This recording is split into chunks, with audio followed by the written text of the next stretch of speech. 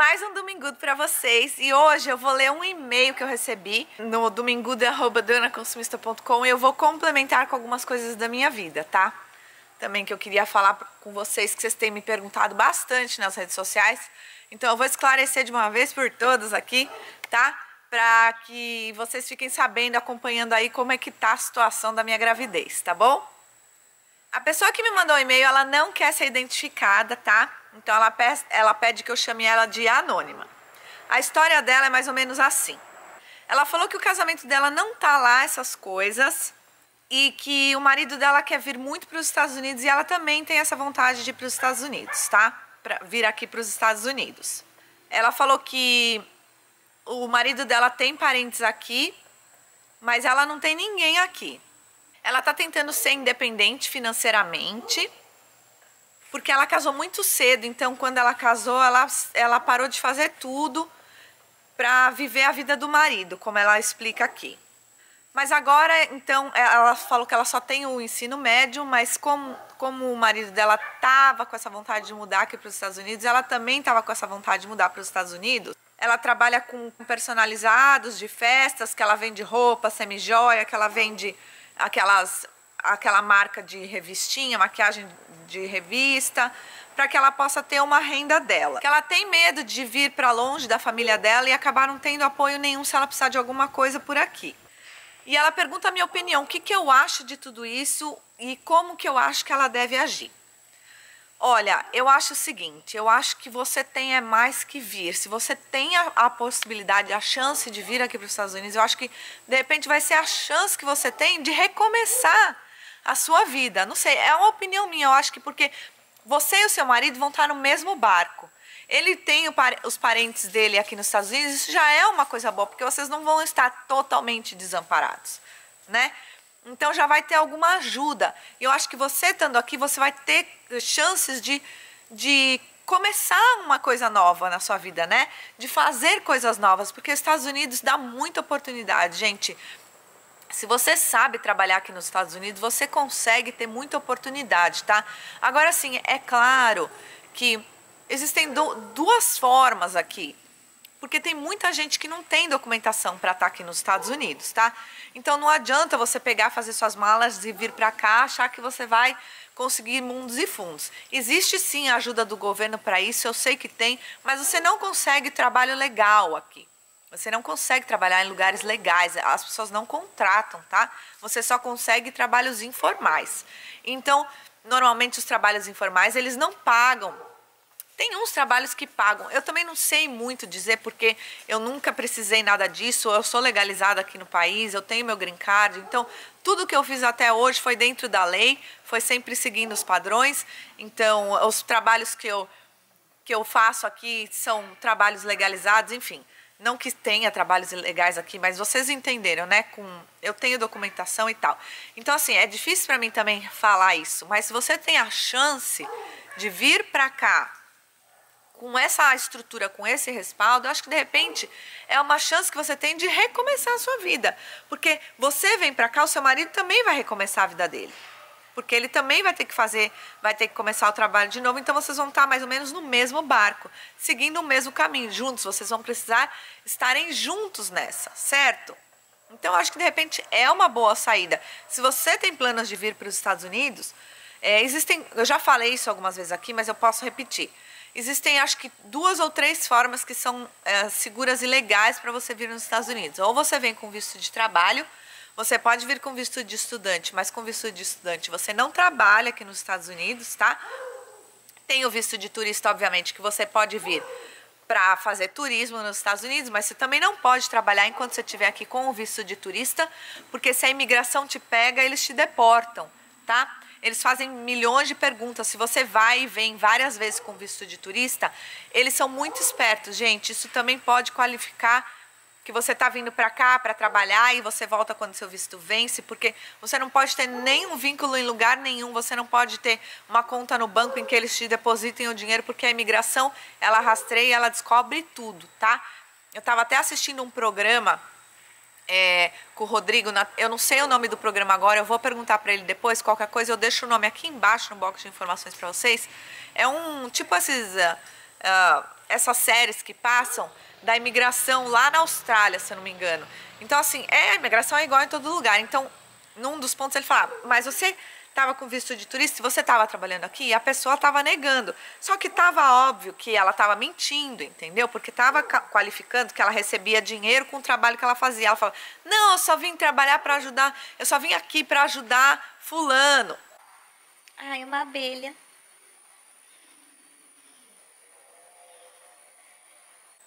Eu só vim aqui para ajudar fulano. A imigração não é burra não é, você não consegue enganar a imigração americana. Coloca uma coisa na sua cabeça. Você não consegue enganar, tá bom? Então, assim, eles têm lá o FBI, sei lá eu, que fazem as investigações, você não consegue enganar a imigração americana. Então não acha que aqui tem um jeitinho brasileiro, amor, porque não tem, tá? Então assim, é, se você tá pensando em vir para cá para os Estados Unidos, esteja, esteja segura, esteja fazendo a coisa certa, esteja fazendo a coisa legal, tá? Para que você tenha respaldo aqui se você precisar, para que você consiga trabalhar em algum lugar se você precisar, se você quiser, entendeu? Então, assim, pensa tudo isso.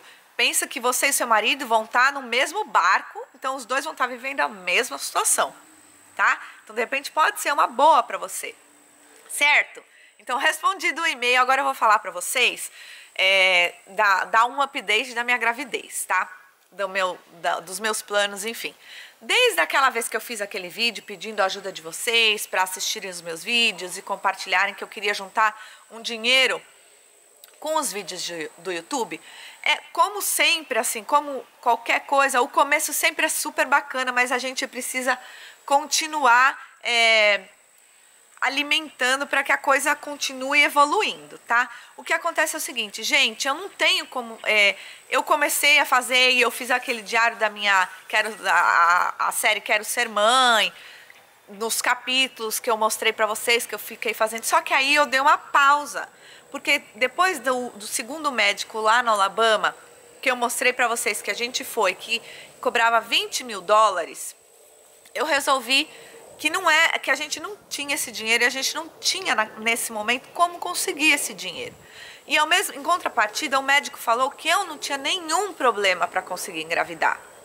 Nem eu, nem o Rodrigo. O Rodrigo estava super saudável e eu também tô. A questão é porque eu tenho 40 anos. Então as fibras, como o Rodrigo me explica sempre, elas são mais fracas. Então elas não conseguem, né, se juntar, falando assim, é, nas, nas, na, na, no, no linguajar bem leigo, as fibras elas, elas se rompem quando elas precisam se formar e juntar, enfim, alguma coisa assim, gente, tá? Então, não tem, não há problema. Eu falei, então, se não há nenhum problema, vamos, vamos rezar.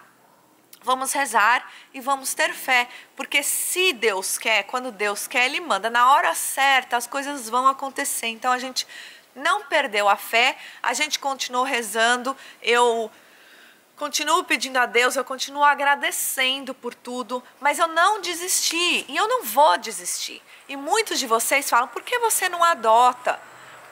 Por que isso? Por que aquilo? Gente, é, eu, eu já falei sobre isso também, tá? Em um outro vídeo. Eu não vou, eu não vou repetir porque fica cansativo toda hora ficar falando a mesma coisa, mas eu vou achar o vídeo que eu falei por que, que eu não quero adotar e vou deixar aqui embaixo no box de informações para que vocês possam assistir aquele vídeo, tá?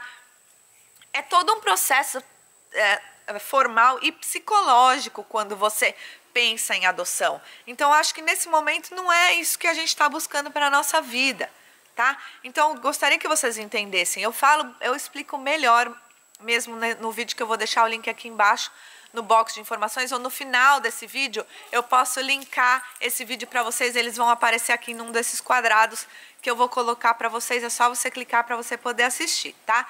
Então assim, a gente não desistiu, eu, a gente continua naturalmente esperando que a, que a natureza né, me dê essa graça, que Deus conceda essa bênção para as nossas vidas.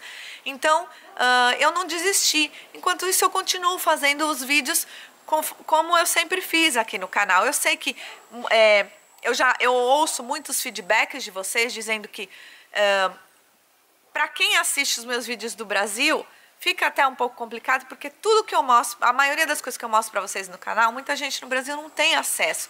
Mas por outro, mas entendam o meu lado. As únicas coisas que eu posso mostrar para vocês são coisas que vendem aqui nos Estados Unidos, porque infelizmente eu não tenho acesso aos produtos do Brasil. Eu adoraria poder testar as coisas do Brasil para poder falar minha opinião para vocês, da forma como eu faço com os produtos americanos, mas infelizmente as marcas no Brasil, elas não querem ter esse gasto de enviar as coisas para a gente aqui, para que a gente possa testar, entendeu?